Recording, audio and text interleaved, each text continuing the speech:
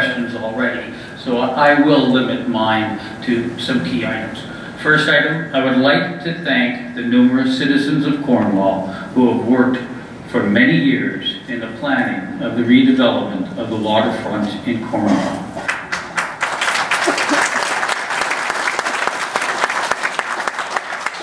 Their vision of a sustainable waterfront for La Village and Cornwall is under the greatest of challenges right now. Please do not give up this fight. Here are my questions. Uh, this first question would be to Councillor Murphy. Uh, at some time, can you let us know what will be the tax benefit to the city of Cornwall of these storage tanks? I can look into that for you, I don't have that answer right here. Thank you. This one would probably take a little bit of time. Um, second item, uh, this one would also be for Chuck and Mr. Murphy, but Councilor Murphy. I brought with me today a drawing over the corner that was done by McGill University on behalf of the city of Cornwall.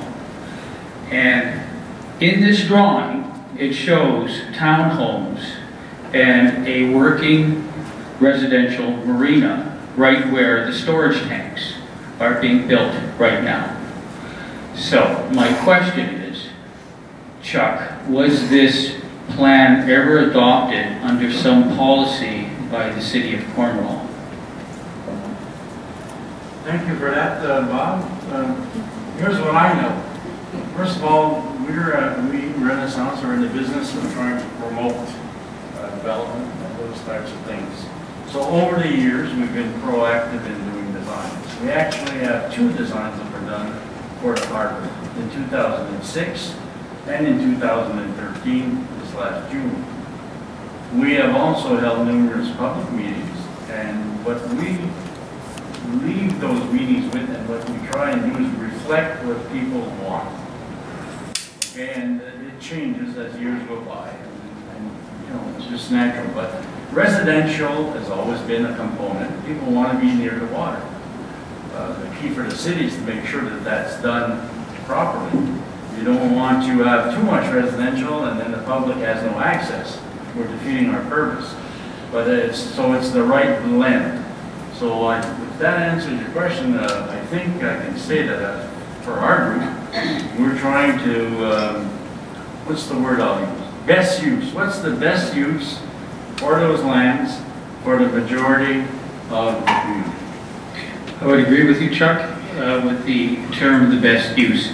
And that we do not ignore the funds and consultant expenditures that the city of Cornwall and the citizens of Cornwall have gone through for studies such as that one for best use of land. Uh, my next question. Besides the construction of tanks, what is the plan? This one will be directed to Doug, if you could do your best to try to find this information.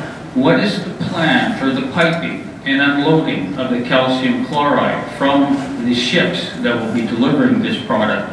Are we to see a pipeline across the waterfront, which will also have a dramatic effect on our waterfront with restriction and no access and visual implications? Uh, with respect to that, uh, I, am confident that there will be a pipeline of some kind. I am in no position, and I don't want to speculate, and I don't want to somehow uh, make promises or, or make alarmist remarks about that. I will, though, undertake to ascertain what the delivery mechanism is and what, what is being proposed. My concern uh, as a citizen and taxpayer here in the community is we need to not only know about the tanks, but how is this product being moved across the land? Okay, it could be twice as much of an impact. And I can tell you, based upon my information, and I agree from the gentleman from Belleville, I believe it was, uh, calcium chloride is a contaminant and no different than petroleum and should be considered a hazard to the community. I have discussed this with my environmental consultant and he has confirmed my suspicions. If this product and the potential for contamination in the future from spillage is very possible on this site. My next question.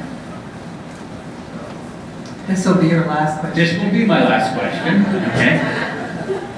Will there be, and this is to Doug, will there be a fence installed across front of this property, right to the waterfront? And how will this impact the movement within the community? Uh, I- Again, I, I have visited the site with Mr. Lauzon. There currently is a fence. Um, I, I'm not going to pretend that I know what is going to happen, but I think it's fair to say the property would need to be fenced off. There are pretty large holes in the ground. Um, And you would have to have some way to restrict access and prevent accident, accident and otherwise. So, but but I'm not going to suggest I know what kind of fence or what height or what design. My knowledge with fences is that this fence would have to be signed as to hazard- hazardous conditions, keep out, etc. Not a very inviting environment for the citizens along the waterfront. Thank you.